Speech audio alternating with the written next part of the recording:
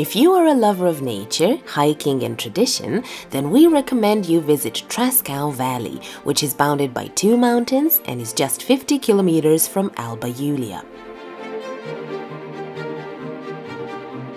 One of the main attractions of this valley is the village of Rimetea, which is on the tentative list of UNESCO and inhabited by a Hungarian population.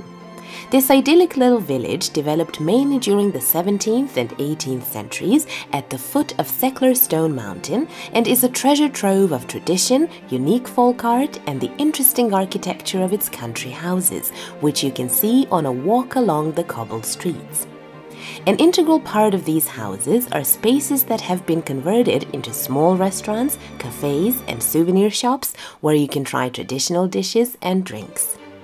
Routes through the village are divided into 18th century heritage tours, a museum tour, a tour of the religious heritage, or a tour of the whole village. The unique shape of Szekler Stone Mountain attracts visitors from all over the world due to its spectacular views, natural attractions, adventure trails, and the peace and quiet that relaxes and renews your energy.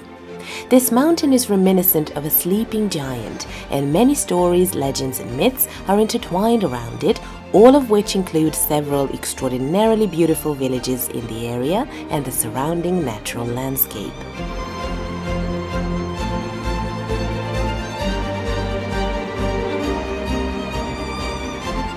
After an exciting day of hiking in the beautiful nature, you can relax in the gorgeous ambience of the Szekelyko Mansion, which is 4 kilometers from Rimetea, with its lovely park, charmingly decorated rooms, and a restaurant serving traditional dishes and a range of other specialties.